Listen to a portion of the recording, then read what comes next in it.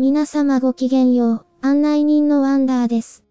今回はジョセフさんが火曜日恒例の予言とは別に配信した、5次元へのアセンションの兆候に関する動画の内容の2回目をご紹介します。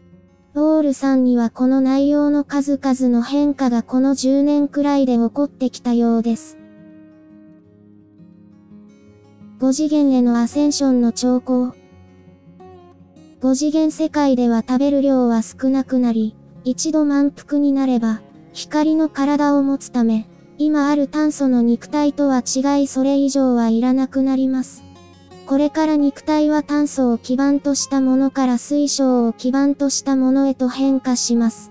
これは徐々に進むためとても時間がかかります。もしこのような変化が一度に起これば肉体は耐えられません。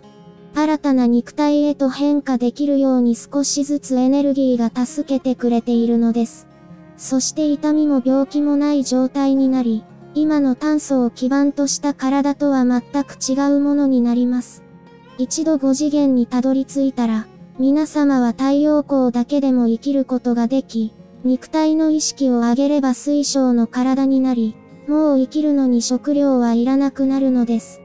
食事を減らし身につけるものを減らしていることがわかれば、5次元世界へと近づいている証拠になるのです。もう今までのような病的に重苦しい食べ物ではなく、もっと自然なものを求めるようになります。6番目は毒を避けるようになり、5次元の地球になれば自分の中から毒を排除できます。毒々しい人や有害物質、おぞましい思想についても同様であり、このような物事をこれ以上心や体そして精神が扱う必要もなくなります。このような波動はもはや皆様に合わなくなるので、5次元世界ではこのような物事が存在し得なくなるのです。それには毒々しい低次元の思考にとらわれた人や、アルコールや加工食品のような毒入り食品も含まれ、そのような存在が全く有益に感じられなくなり捨てることを決意するでしょう。そして病的なエネルギーに耐えられなくなるくらいに成長するのです。もはや毒気を帯びた感情はもう皆様のいる5次元の現実には存在できなくなるのです。ですので邪悪なものがあったとしてももうそれに左右されることはなくなります。そうなればもう5次元世界はすぐそこです。7番目の指標はとても自然と触れたくなり、5次元にいればあらゆる意味で自然との接点を持ちたくなるのです。5次元に入れば外で自然と過ごすのを好むようになり、母なる地球のエネルギーを直接感じることができます。気づけば都市を離れて田舎や小さな共同体の中に行きたいと願うようになり、都会の喧騒や室内で引きこもることに耐えられなくなります。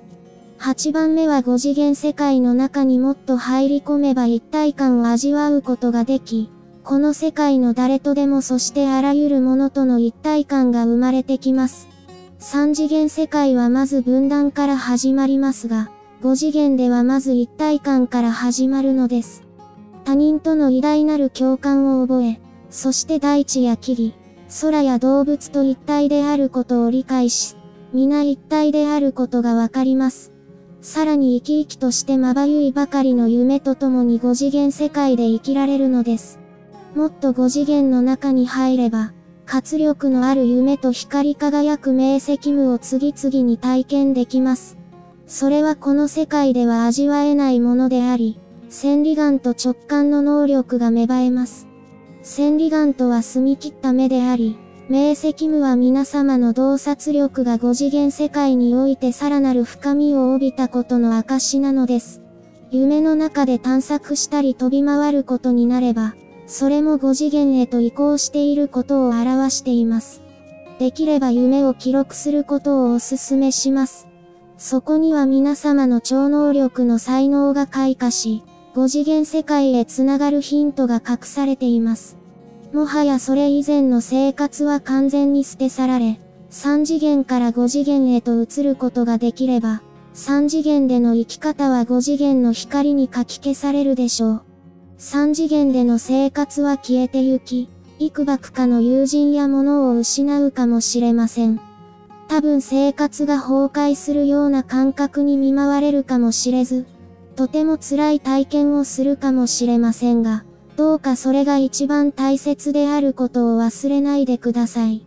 その向こうの世界にたどり着くことができれば、とても素晴らしい日々を過ごすことができます。そこで三次元での存在はもう何の役にも立たないことがわかるでしょう。新たなエネルギーに囲まれた新たな生活はとても心地よく感じることになります。その中に入り込めば、なぜ人生が崩壊して一気に動き出したのかをさらに賢くなった自分に問いかけることができるでしょう。もし自分の波動が上昇すれば、気分は良くなり物事が思い通りに進みます。これらの兆候が3次元から5次元へと移る際に起こります。それはまるで建物を建てるときに一旦古い建物を破壊して新たな建物を建設することと似ています。同じことが皆様の人生でも発生し、今よりももっと良い生活ができるように祈りましょう。今回のお話が皆様の3次元から5次元への旅の一助となれば幸いです。また近いうちにお会いしましょう。人生と皆様自身を祝福し、もしこのお話を疑うのでしたら、アセンションに伴う痛みを共有しましょう。自分に対して大胆で親切で優しく接してください。ナマステ。いかがでしょうか ?11 の指標と言っておきながら、カウントはいくつか抜けていましたね。まあそれもご愛嬌ということでお許しください。皆様はいくつ当てはまりましたか？ロールさんはこのような変化を老化だと思っていたようです。こちらで配信できないお話や、審査に落ちて配信できなかった動画などはメディアブルで配信中です。概要欄にリンクがありますので、ぜひ一度訪れてみてください。今回の動画、気に入っていただけたらチャンネル登録、グッドボタン、コメントいただけたら励みになります。最後までご視聴ありがとうございました。また次回の動画でお会いしましょう。